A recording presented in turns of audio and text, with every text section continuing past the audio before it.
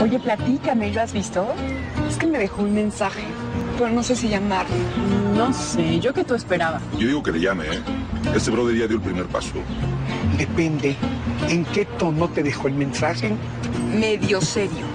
¿Serio enamorado o serio enojado? Oh, no la desanimes. No me desanime. Con el delicioso aroma y sabor de Tess McCormick, tus reuniones crecen. Porque solito nada sabe igual.